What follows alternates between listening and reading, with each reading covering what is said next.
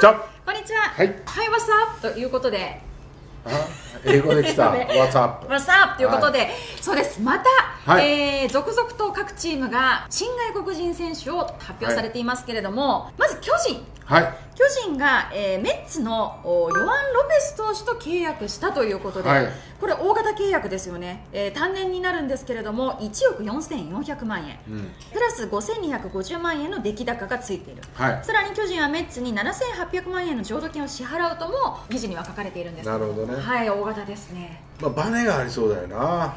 バネがある。はい。体型的にもさスラッとしてそうですね。まあピッチャー体型だよね。190センチですからね、うん。それで平均が154キロぐらいでしょ、だかはいらまあ相当な力もあるし身長もあるし、はい。まあ、それに伴って角度もあるという。はい。申し分なさそうなんだよ、そうですよね、うん。うん。ただただ。ちょっと投げ方に癖があるんだよ。どういった足が上がって、い。普通スッとこう割れるじゃない、はい。まあ割るっていうんだけど。これがね一回こうやって入るんだよ。はい。あ。野手みたいに、あポンとうん。はい。一回こうやって入って投げるから、はい。無駄なことがあるんだよね、ちょっとワンテンポ。うん、だから無駄なことのあるピッチャーっていうのは、はまあ、バランスさえ崩さなければいいんだけどもさ、俺が見る限りはここが嫌なんだよね、うーん。うん、ただ、まあ、ショートイニングをはい。計算してるんであれば、はい。特に気にしなくてもいいのかなって。それで、まあ、自滅型ではないみたいな感じはするんだけども、はい。ただ繊細なコントロールを持ってるといえばちょっと持ってないよね、あまあ、ざっとはしてる。ーざちょっとアバウトな感じということですか？そうそうそうそうまああの2019年にはすべて救援で 70,、はい。70試合に登板して2勝7敗1セーブ防御率3.41と、まあ、その時はブレイク果たしたんですけれども、まあ、メジャーでは8試合で1勝0敗防御率5.73と、はい。先発でははちょっと苦しいかもわかんないけど、ボールに力があるからさ、はいまあ、それなりに投げていくんだろうけどもさ、はい。救援だとまあまあいいよね、まあ、平均154キロで最速160キロ。はい。ってことを考えて救援って考えるとベラルサだったりとかもまあいったビエイラ的な、えー位置で考えて投げさせるっていうことになる、まあそうだね、うん。ただ投げ方は綺麗だよ。投げ方は綺麗なん投げ方は綺麗だし、はい。あの悪くはない、はい。ただ癖として足が上がって投げる時こうやってやるんだよね。あーワンこうやって一回こうやって入るんだよ。だからあれなんで入れるのかわかんないけど、はい。だからそこら辺の癖が治ればもっと良くなるよね、この癖あるピッチャーって外国人っています？まあいるんだよね。中にはいるんだまあ、それが自分のリズムなんだよね、はい。だからそれがないと投げれないんだと思うんだけども、はい。でもそれを強制して直せるんであれば、もっと良くなるねこのピッチャーじゃあそこをどういうふうに対応していくか今後 NPB でっていうことですね。いやだから1年単年契約でしょ、はい。単年契約にしたっていうのはやっぱそういうところなのかもわからないよね。ちょっと不安要素があるのかちょっとそこら辺に不安定要素だね。うん。不安不安っていうか投げれるのは投げれるだろうけども、はい。だからそこら辺で日本の野球にアジャストできるのか、うん。例えばクイックの時なんかこんなやってて投げられないしね。だからクイックの時はやんないとは思うんだけども、はい。まあ、それだったらやんない無駄なことはやんない方がいいし、はい。単年契約にしたっていうのはそういうところなのかなっていうような、まあ、感じはするよね。そうですね、うん。でまあ救援となるとやっぱりこうちょっとリズムが狂ってしまうと、まあ、塁出したりすると、まあ、大きいからな、はい。ちょっとそれとクイックができるのかどうかっていう情報がまだないけども、はい。こうやって入れるピッチャーでどうなるんだろうなっていうクイックができるのかなって、うん。もちろんクイックの時はやんないよ。はい、やんないだろうけども、まあそこら辺でどうなのかなっていうね、うん。まあよければ2年3年って契約していくだろうけども。そうですね、まあでも俺は嫌いなピッチャーではないけどね。たピあッチャー的には体型が綺麗だし。あもうピッチャーピッチャーみたいな体型ですそうねそうそう、あの それとその手足も長いし身長あるしみたいな、うん。角度もあるしみたいなね、まあ、球種が少ないだろうなっては思わせるけどもね。そうです一応ストレートと決め球のスライダー合わせてこの2種類が投球の90%以上占めると、ねで時折チェンジアップを織り交そうぜると。そそうそういうそう。時折ね、はい、だから時折っていうことは、ん。あまり自信がないんだろうね。そうですねだから緩急はほとんど使えないという、はい。まあ、感じのピッチャーだけどもね、はい。だからコントロールが少しアバウト気味、うん。で球種は少ない。はいでちょっと投げ方に癖がある、っていうことで丹念だと思うよね。そういうこと。だからうまくブレイクしてくれて、は日本の野球を取り入れてくれて、はい。まだこう変身できるような、うん。そういうピッチャーだよねピッチャーの一人、はい。で同じ巨人なんですけれども、はい。今の時点では一応獲得調査という形なんですけれども、えーブリンソン外野手、はいはい。センターを守れるブリンソン外野手を今調査中、これ実は立浪監督が明かしたんですけど巨人に持ってかれちゃったと中日が欲しかった選手だというのを公言してまして。なんで？中日の方が先なんだよ。でも金額的なことがあったのか。でも調査調査をしてるというまだ獲得ではないね、獲得ではないです。多分もうもう明かすところまでは来てんじゃないのかなという形で身体能力がめちゃめちゃいいい選手だそうです。体型がいいよ。動けるよ。うーん。うん動けるし、はい。あとはやっぱバネだな。バネ。もう盛んにバネバネって言うけどさ、どこに入ってんだみたいなさ そういうこと聞かれても全体的にってしか言えないけども、はい。能力的にはすごい高い感じがするよね、そうなんですね。うん、でパンチ力もあるし、はい。体型は細身。はい。いいと思うよ。おーで守備力もすやっぱりすごく良くて特に肩がであのセンターを守っているので、そう攻守揃っていてという。まあ20本は確実に打つよな。ああそうですね、まあはい。ちょっと 3A で、えー、2球団で計87試合に、えー出場ということで、はい。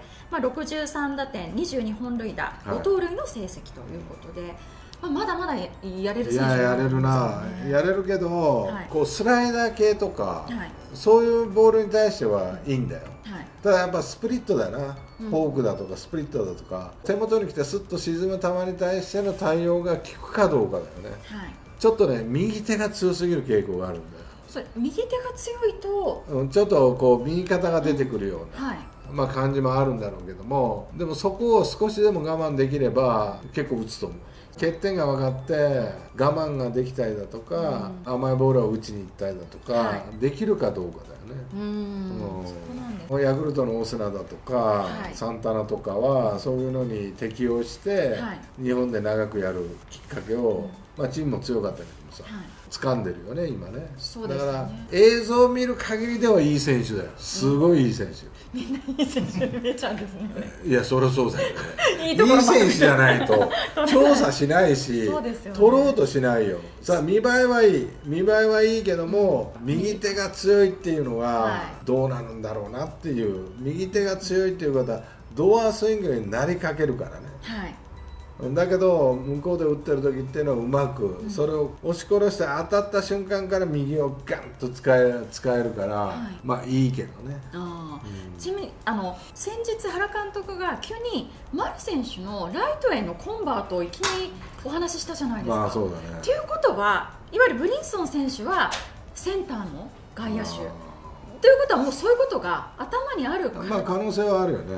あーということはレフトウォーカー選手センターブリンソン選手ライト丸選手の構想があるっていうことなんですかね。まあそういう形も取るかもわかんないよね。で足も速いとなるので、まあ、一番だったりとか、で大川はがい。出れなくなる可能性だってあるし、そうですね他の。あのそうか20本打ってるバッターが出られなくなる可能性もあるはい長野外野で取ったりだとか、はい。まあ、お声を取ったりだとか、まあいろいろ外野手にも優秀な選手がいてね、そうですよね。また出れなくなるよね そこなんですよ。そこなんだよ梶谷選手もいますからね。ああいるな。梶谷もう忘れてたわもう。そうなんです。いつまで休んどんねんっちゅう話じゃねそうなんさ。いやこうなってくると本当にますますやっぱ若手とか、うん。既存の選手の出番がっていうことにでも浅野もいるからねドラフトで。どうする？ドラフトにしてかどうやって育もういやていや違う違う。でもプロ野球って競争だからさそれに勝って勝ったやつがお金ももらえるし、まあ、そうですね、まあ栄光脚光を浴びるというね、はい。まあそういう形だからまあいていいんだよ。うん。ただ使い方が中途半端にならないよね、うん。まあ、それと、はい。やっぱ数多くいると迷いが生じるよね。その迷いが足並みが揃わない原因になったりだとか、はいがしないようにしてほしいよね。そこですうねん。でも素晴らしくこう三拍子の揃ったい。い選手だと思うよ。ただ日本は精度のいいボールを投げてきて落とすからな、はい。だからここら辺でやっぱこう対応してくるかどうかね。そこですまあ、それが、まあ、身体力が高高いから、はい。バッティングだけだったら、ウォーカーとちょっと双璧なところがあるし大川の方が若干上かなっていう柔軟柔軟性からするとね。はい。守備とか総合的に言えばもう絶対こっちでああブリンソン選手のそうそうそうそうそう。んさあそしてソフトバンク、はい。外国人取りました、はい。野手です。えメジャー通算588打席でわずか28三振、はい。ミラクルです。アストディーヨ選手ベネズエラ出身。アスト D アストディーヨ選手ですしたかもそう。アストディーヨ選手もうね外国人の名前を覚えるのも大変なわけよ。毎年変わるし途中で取ってくるしさ、はでなんか同じ名前がかぶっロてかぶってくるし、はい。スターがなんか巻きそうなやつ巻き込んでなんか窒息しそうな選手もいるし。マルチネスロドリゲス。そうそうそうそう、もう大変なのよ。で今回誰でしたっけ？あアウトディーヨ。えアストアストディーヨです。アストディーヨ。はい。この選手ははい。必ず打つよ、柔軟性が違う。え。低めの球を落とされたら、は左の膝で右バッターだけどね、はい。膝でボールを拾いに行ける。ーうん。で詰まってもバットの出がいいからインサイドから出るから、詰まっても右に打てる。おお来てからじゃないと外外国人は分からないよって言うけど、はい。必ず打つ。ーわソフトバンクいい選手取りあましたね。絶対打つ。ただし、はい。太りすぎあそう若干デスパイネ選手にも似てるのかなデスパイネよりもちょっとでかいんじゃないの？ちっちゃくて。体型の大きい人ってすごく器用なんだよ、へー。バットコントロールが。やっぱり自分の体はが邪魔するんだよね。打席で。出てる分。出てる分だけ。だから手さばきが器用なんだそれプラスはい。膝が柔らかい。だから間違いなく打つから。パ・リーグ向きなんだよだから DH だよ。あ。だから足は決して速くはない。はい。速くはないしおそらくその体型から考えると守備もそんなに得意な選手じゃないと思うよ。はい、だから DH があるパ・リーグ向きだよ。まあ、メジャーリーグ通算190試合で16本塁打、うん。70打点打率2割6分7厘なんですけど、これ日本に来るとホームランも増えそうですか？どうなんですか？まあ増えるしそんなにバッティングを変えようとするような選手じゃないよ。うん。当たって飛べばホームランだしあでも詰まって落とす落とすこともできるよって。同じコピー機でもさ、は用途が全然違ったりとか、うん。ね。用途が大きい選手だおーそう。だから三振も少ない少ないんだよ。ってことなんですうねんだからそれに伴った出塁率、はい。選球眼。それもいいんだろうね、うんソフトバンク取りました、うん。いろんな選手取ってますけれども豊さん外国人で一番不安がないと言ったのはこのあアストディオ選手俺は絶対あの打つと思うどの程度かって言ったら分かんないけどね。そこは分からないけど。ただただ率からすると2割8分打つ。お確いいですね。でホームランは20発以上打つ。うん絶対に、はい。うん、で出塁率も4割近い数字を残してくれると。外国人でそこまでしてくれたらもう素晴らしいいやお前こんちゃんも三振しない。外国人も三振しない。ギータもしないからね、はい。大変な打線になるよこれ。ずっと塁に誰かいる。そうだ誰かいるよ。ですよね。ああそしてさらにピッチャーは阪神えーからガンケル投手取りましたソフトバンクアンケルは取ってるしロッテからさ、オスナはオスナ取ってるしもう優勝だな。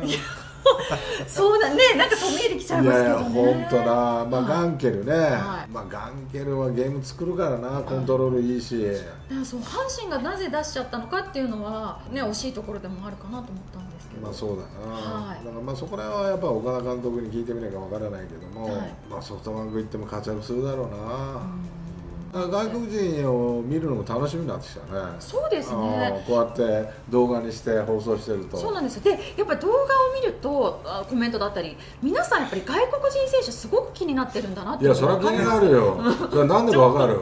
やっぱオスナとサンタナがあれだけやるからヤクルトも優勝できるし。はい。近道なんだよ。勝つことなんですね。だから d n a だったら外は戦列復帰したけどオースティンがもう来年もダメなんじゃないかっていうとさ、は優勝に予想しようかなと思ってたのがちょっと一つ引いちゃうもんななんかわかんないし。そうですよね。でロッテもねあのマーティンとレアードが不調なだけでやっぱ順位下がって全然違うしね。うんだから取ればいいっていうもんじゃなくてやっぱジャイアンツがね今調査してるはい。ブリンソン。はい。ああやって3拍子揃ってる選手がいいよね。ああある程度、はい。まああの中日のアキーノはい。もう3拍子揃ってると思うし肩めちゃくちゃもう本当に 12球団で一番肩強いんじゃないか岡林が強かったからさ、はい。あれ以上だと思う。強さは。はい。ただそのまあ言ったけどスライダーね。外のスライダーに止まれるか見極められるか、まあ、そことの日本に来たら勝負だと思うけども、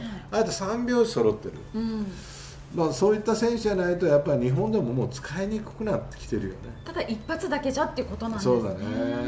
だからポランコとかいたけど、はい。ね、だけどやっぱり守備がなそうあれだったし、まあ、そういう意味では3拍子揃った選手はい。がいいね。そうですね、はい。まあ、新外国人選手、またね、この後も入ってくるなど情報あったら、この動画で、あもう続々と直すか 続々と紹介しましね、ネタくれ。1日一日2本動に画。スタッフ倒れちゃうもうそのうち。いや本当ですよ。本当スタッフ倒れたらこちらが新外国人のね助っ人を取らなきゃいけない時代になりますから、ねはい、頑張らないとこちらも、はい、外人？いや違います。日本人です